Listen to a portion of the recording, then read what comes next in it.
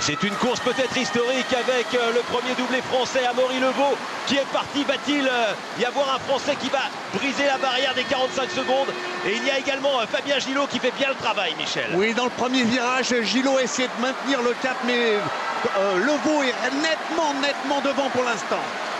On est sur les bases du record du monde d'Amaury Levaux Fabien Gillot en deuxième position. Et Levaux qui s'envole maintenant. Le roi du bassin, il est Mulhousien. C'est Amaury Levaux qui domine. Et derrière, Fabien Gillot qui tente de s'accrocher. Dernier virage, dernière longueur. Attention, record du monde 45-12. Et Amaury Levaux qui va peut-être repousser les limites de l'impossible. Exploser la barrière des 45 secondes. Amaury Levaux pour un improbable doublé 100 et 50 avec un nouveau record du monde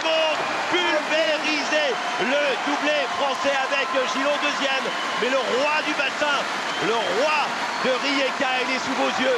C'est Amaury Leveau, le nouveau roi du sprint qui s'impose devant Fabien Gillot, la troisième place pour Filippo Manini.